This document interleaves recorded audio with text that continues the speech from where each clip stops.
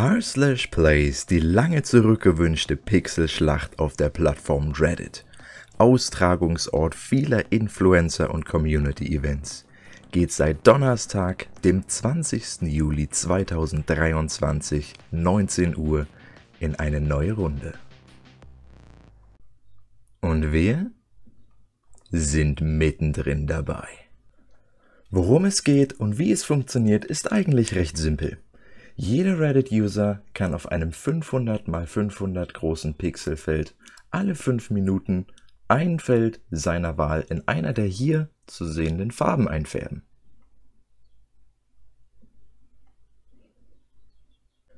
Wie ihr euch sicher denken könnt, ist es für eine Einzelperson nicht schaffbar, auf diese Weise große Kunstwerke zu kreieren.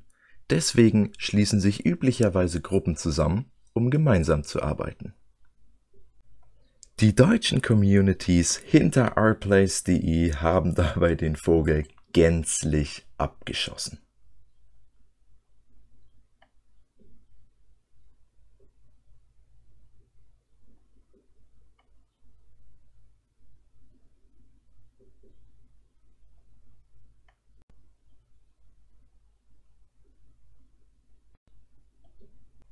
Für grandiose Unterhaltung und um noch besser in das Konzept von r/plays einzusteigen, empfehle ich euch das Video von Jules.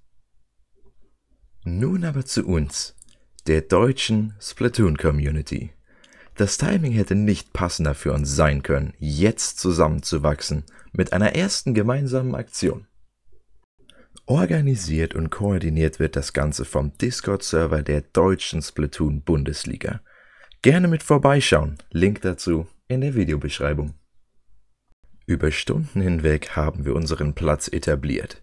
Zwischen dem Flaggschiff der deutschen r/plays Community, den skandinavischen Ländern und einigen weiteren kleinen Gemeinschaften, mit denen wir sogar Bündnisse eingehen konnten. Um auch in Zukunft wachsen, ausbauen und in erster Linie uns verteidigen zu können, brauchen wir eure Unterstützung. Also scheut euch nicht und tretet dem Vergnügen bei. Wir freuen uns auf euch. Macht's gut!